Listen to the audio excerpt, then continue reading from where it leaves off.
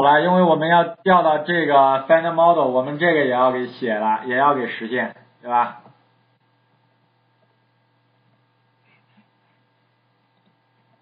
怎么写呢？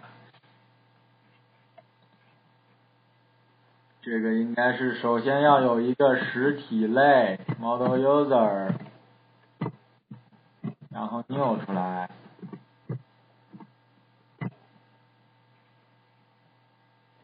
这下边就是一连串的设置了，这个代码比较简单，我就直接也复制过来用了。这个设置是什么呢？就说白了就是这一堆设置吧，对不对？我们一会儿来看一下，先把它粘进去。然后这里边一些地方要给它改正确，咱们这些都是小写。自动生成的是小写，嗯，搞错了吧？我们来看一下，这个 find model 是怎么写的呀？就是你有一个实体类，然后这些都还记得吧？这是游标，我们把这游标也给重命名一下吧，rename，然后 p 就可以了。获取游标里边。获取一个 get int 对不对？获取一个数值，咱们 user ID 是 int 类型的嘛，对吧？要获取，然后这个是获取列某一列的索引，根据列名获取该列的索引，对不对？获取索引之后，你就可以获取这个索引里边的值，把它转换成 int，对不对？然后下一个，咱们这个是 user name 了吧，对不对？get string 是吧？然后这个呢？日期也把它按成一个当成一个 string 类型的对待，对不对？弄过来之后，你要把 string 类型转化成一个 date 类型。这时候我们又用到了咱们这个工具类了吧，日期操作类了吧，是吧？get date 这个是什么一个作用呢？就是把一个 string 字符串按照你指定的这个字符格式化字符。格式化成一个日期，对吧？咱们让它格式化成什么呀？就是年月日、小时分秒，对吧？格式化之后得出来一个日期，然后把它给赋值，对吧？这个就是设置状态，这个很简单，是吧？这样的话，我们来看一下啊，我们的这个增、删、改、查，还有建表，对吧？已经有了吧？这个修改我们现在用不着，然后参数也封装进去了，对不对？然后我们获取这个一个单个的实体类，我们不封装在这里，因为我们这里边封装的都是这种比较基本的操作。你获取单个的实体类，其实就是也是利用这个方法就可以完成吧，对不对？只不过它返回的是一个 list，list 的这个类型。你把它的游标，呃，你把它的索引制成零号位，得到第一个，因为它只可能有一个嘛，对不对？你根据 user ID 查，只只会查到一个。我们把这个方法待会儿封装到业务层就可以了，对吧？这里边就这么多基本的方法就可以在就可以使用了。但是我们这里边呢，还少做了一项，少做了一项什么呢？我们来看一下啊。记不记得我这程序我在打开的时候，比如说像这个类别，哦，这里边显示还有点不正常，这没事。这类别不是什么买菜呀、购物啊、交通啊、什么早餐、中餐、晚餐，对不对？我这是在建表的时候都把数据给建进去了吧，对不对？我们是有时候是有是有这个需求的，因为你建表不可能什么时候都是空数据，有些默认数据像咱们这个类别点管理。咱们把一些默认的类别给建进去之后，就不用客户一开始还要维护类别了，对不对？这些基础类别咱们都给它默认就填到数据库里，对吧？所以说这时候咱们就需要一一个什么呀？就需要一个添加默认数据的这么一个方法，对不对？如果我们有有这一项的话，我们要多写一个这个方法，我们就把它写到这儿算了。行吧，这个方法叫什么呢？因为咱们可以看到，咱们这里边初始化的时候，初始化两个人张三李四，对吧？咱们把这个给初始化进来。嗯，这是私有方法，错一下。然后就初始化 int 默认值是吧？默认数据。Debut date。然后这个时候呢，它需要一个参数。要把这个数据库的这个对象也给它传进来。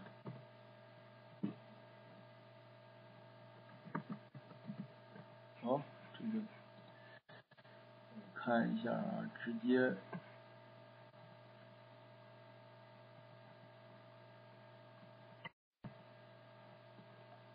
它直接在这里边敲吧，敲 Q L I。P E D A R 这出来了，然后 P database 就可以了吧，对吧？初始化值呢？我们初始化值肯定其实就是咱们的插入数据的一个操作吧，对不对？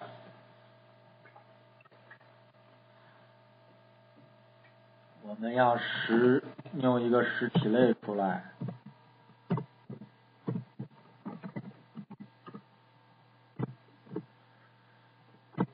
我们要插入的这个数据，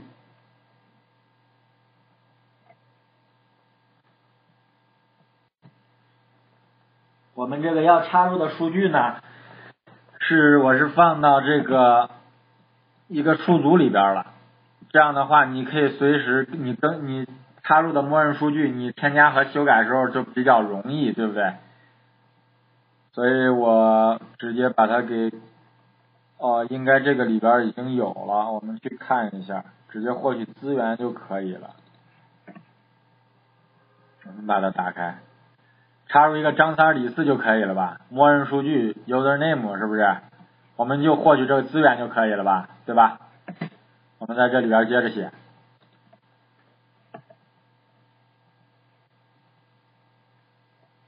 怎么获取资源呢？那个是个 string 数组，对不对？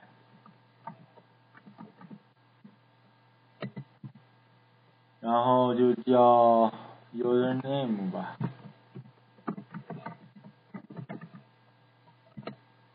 啊，这个，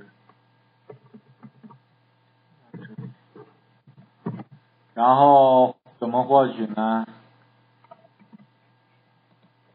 ？get content 对吧？封装到抽象类里边的 get content 获取上下文，还跟以前一样，获取资源。获取数组，把这个资源 ID 传进去，对吧？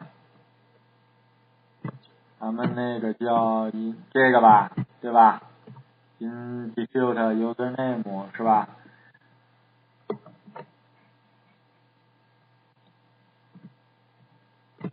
得到了之后呢，我们要便利便利这个数组。便利这个数组，把这个值 set name 给它设置进去，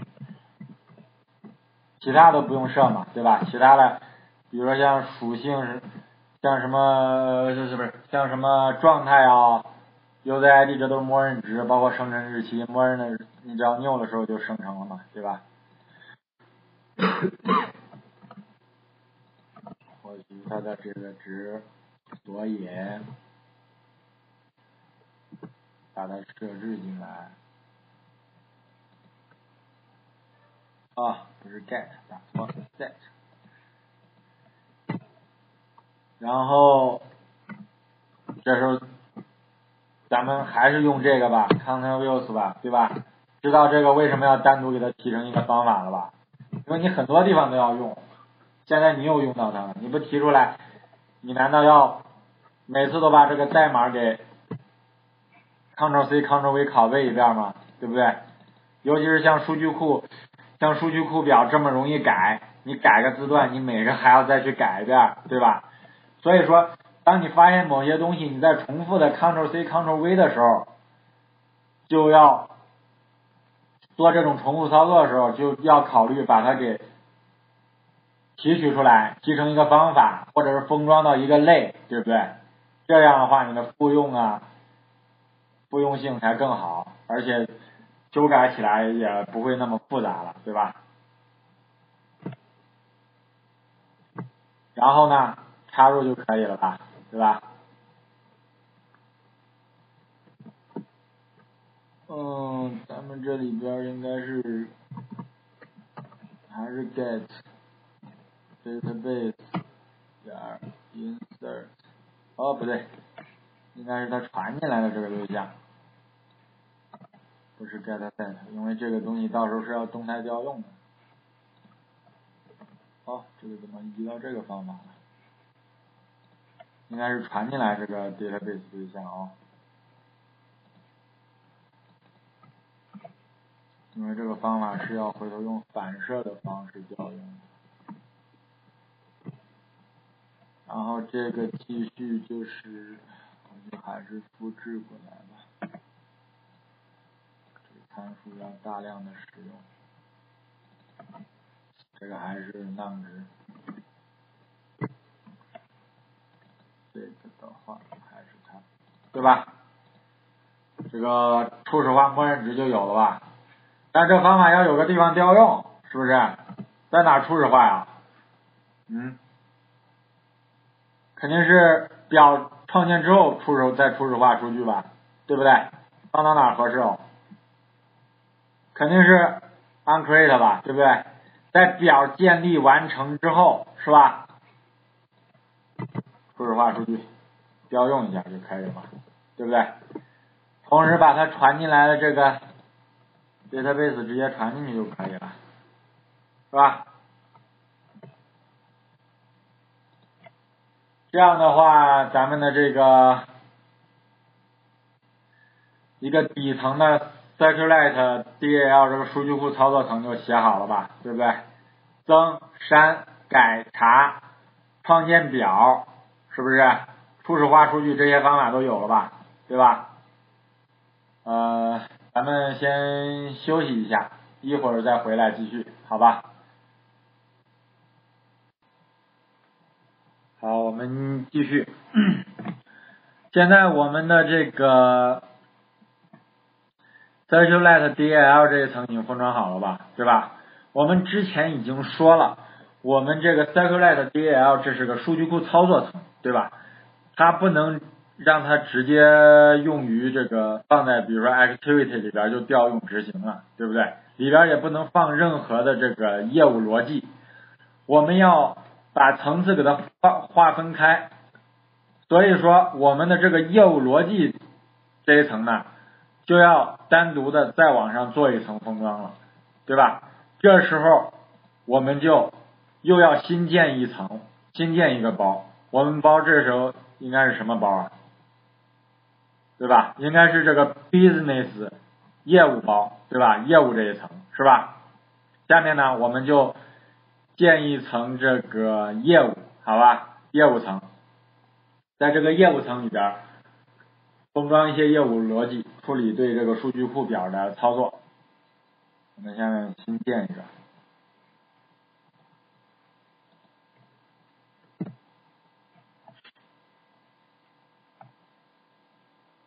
嗯，B。哦，这个就不小心大写了，小写是吧？对对吧？这时候我们的业务层也有了，这时候要新建一个类，业务类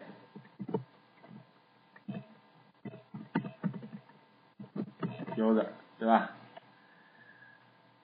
这个时候呢，我们呢？在建这个之前，其实我们还应该建一个东西。我说了，先把它建进来。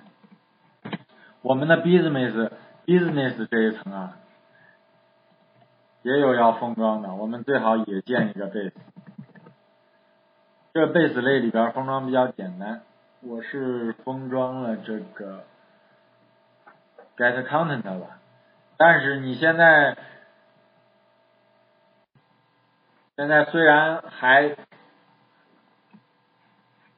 用不到，但是你可能如果感觉到它这个以以后会有这个封装的可能的话，你最好提前就把它给封装了，对吧？我们所以说在这里边直接封装一个 business 的业务类，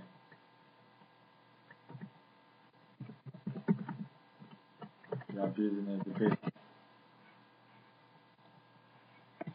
我这个 business base 里边现在封装的方法比较简单，我封了这几个。首先一个就是这个 get content，因为这个肯定是要传进来的，最后你调用数据库的时候也需要这个参数。另外一个我这里边封装了什么呢？封装了这个 getSpring，是吧？我把这个 getSpring 方法给封装进来，下面我们就把这个封进来算了。然后 m 这时候呢，我们要有一个。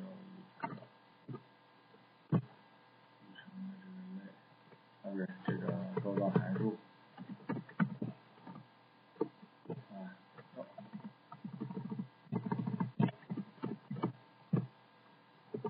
然后把 content 传进来，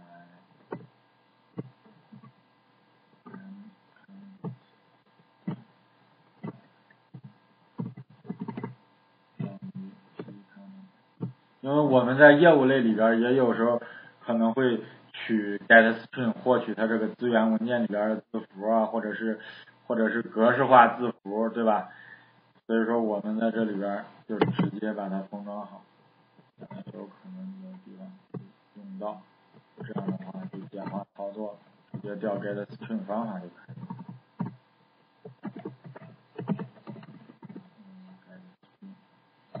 你要怎么做呢？content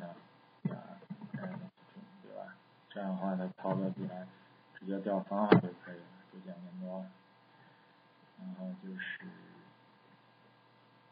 这个要肯定要传进来参数，这个就要 int t inside 啊，直接传进来。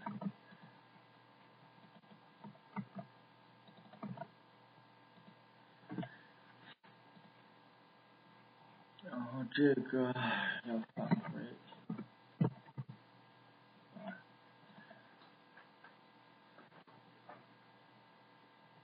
这样吧，我们把这个方法也封装进来。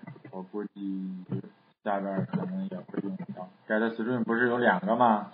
一个是直接获取字符，另外一个还有格式化字符这一个，对吧？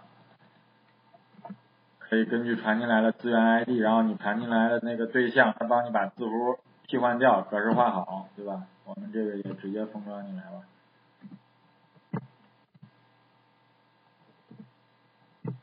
这应该是个数组嘛，对吧？然后返回的是什么呀？返回的是 content 的 get，应该是这个吧，对不对？直接把 P 给传进来，这个，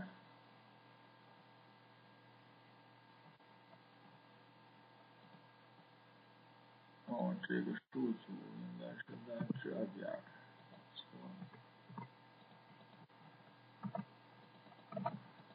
应该是数组，对吧？把这里这些方法就先给提前封装进来。然后这里边呢，我们就继承这个方法就可以了。然后，嗯，对，是吧？这时候要求我们添加这个构造函数，我们直接调用超类的构造函数就可以了。这时候就要往里边封装 business 这一层的这个方法。同样呢，其实还是这个增删改查，对吧？这时候就在要在业务上做一层封装了，做什么封装呢？返回也是布尔值，insert user 还是增删查改，然后这个 model 类呢，